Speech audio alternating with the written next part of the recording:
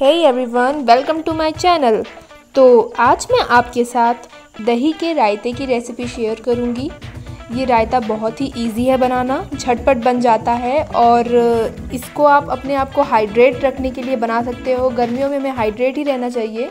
तो ये बहुत ही अच्छी रेसिपी है जो मैं आपके साथ शेयर करने वाली हूँ। चलिए स्टार्ट करते हैं। ये धनिया गार्निशिंग के लिए लिया है। एक खीरा, एक प्याज और एक मिर्च सब बारीक काट लिया है मैंने। और हाफ़ के जी मैंने यहाँ पर दही लिया है। अब हम उसमें खीरा डालेंगे। मैंने सारे वेजिटेबल्स को छोटे छोटे पीसेस में चॉप कर लिया है। आप चाहें तो उसको कद्दूकस कर लें, पर इस तरीके से भी ठीक है।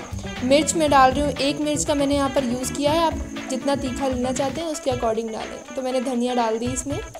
और ये है काली मिर्च और जीरे का पाउडर जो कि मैंने हाफ़ टेबल स्पून इसमें डाला है। अब हम लेंगे सॉल्ट सॉल्ट हम टेस्ट अकॉर्डिंग लेंगे. मैं सेंधा नमक का यूज़ करती हूँ मोस्टली क्योंकि सेंधा नमक बहुत हेल्दी होता है तो आप कोई भी सॉल्ट का यूज़ कर सकते हो। अब हम उसे अच्छे तरीके से मिक्स कर लेंगे। ये जितना इजी बनाने में है, उससे बहुत ज़्यादा टेस्टी ये खाने में है। ये सभी को बहुत पसंद आता है, बच्चों से लेकर के बड़ों तक। तो गर्मी का मौसम हो तो अपने आप को हमें हाइड्रेट रखना होता है।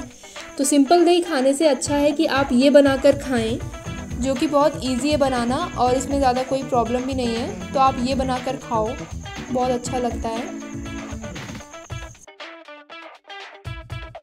तो मैं इसको ऊपर से गार्निशिंग कर रही हूँ लाल मिर्च पाउडर से। लाल मिर्च पाउडर बिल्कुल ऑप्शनल है, अगर आप चाहते हो तभी यूज़ करो। सो मैंने इसकी प्लेटिंग कर दी है। और ये कितना अच्छा लग रहा है देखने में। जितना अच्छा है दिखने में है, उससे कई ज़्यादा टेस्टी ये खाने में है। और जब हमारी डिश दिखने में अच्छी होती है तो भूख नहीं भी होती है, तब भी भूख लग जाती है।